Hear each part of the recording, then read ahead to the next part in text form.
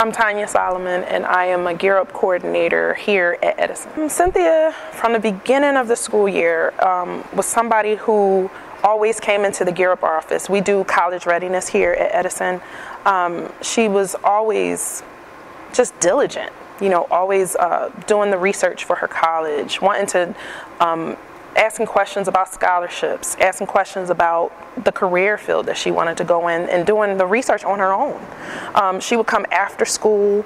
You know, no one had to tell her to do that. I mean, these were things. You know, she was proactive and um, really interested and just diligent. That's the one word I could keep thinking of when I think of her. So, um, well, because we're a CTE school, we have a lot of students who are more some who are more interested in the shops and, and maybe um, going that route.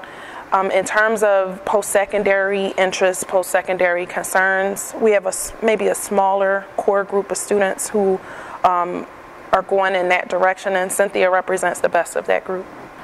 I'm just really proud of her. I mean, she's doing really well. She's graduating near the top of her class. She's got accepted to the school that she wants to go to, so she's right on track. After high school, I'm going to attend Bloomsburg University and major in business. And then maybe when I graduate, get a license in real estate. I felt very surprised. Like I usually never win anything, so I was like really surprised. I'm thankful Miss for Miss Solomon and Miss Holly. They're always there throughout everything for me for anything college-wise and even outside, and along with my parents. So I'm really thankful for them. Just like you know to thank all my teachers and the school. You know. They're always pushing me to do more than I thought I would ever.